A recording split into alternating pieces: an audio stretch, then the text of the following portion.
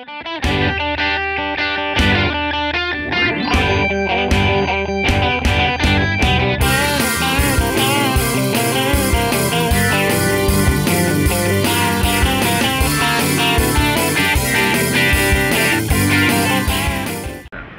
Lease Busters option helps people get out of car leases by way of a lease transfer.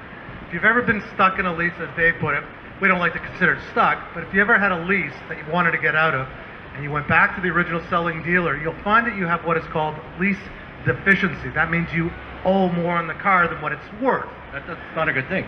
Well, it's not, not a good thing if you want to get out of it.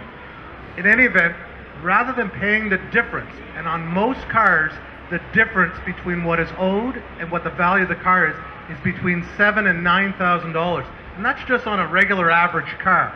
So that average car would be a twenty-five to thirty-five thousand dollar car. What we do is over the past 28 years, we've developed a marketplace for people who would rather take over a lease Right? then lease a new car.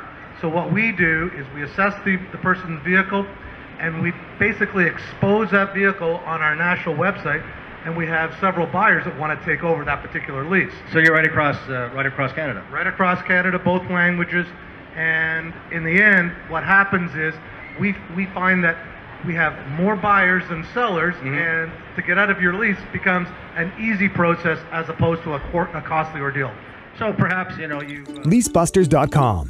Leasebusters. Do you want or need to get out of your vehicle lease? You can exit any vehicle lease using leasebusters.com. Click Bust My Lease. Fill out the lease details form.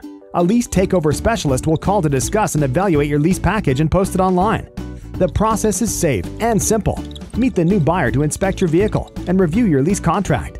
Once the buyer gets credit approval, sign your lease over to the new buyer. Leasebusters.com. Successfully serving Canadian vehicle leasers since 1990.